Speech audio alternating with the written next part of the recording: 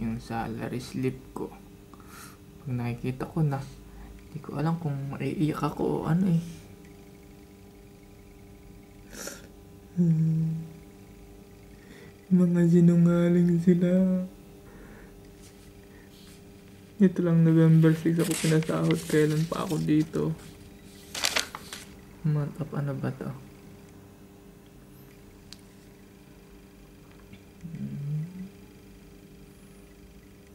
Salary ng October. Salary ng October.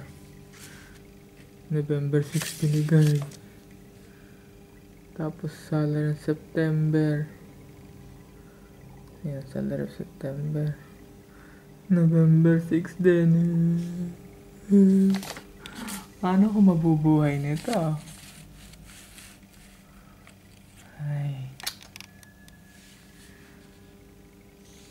Ngali-ngali ko umuwi na.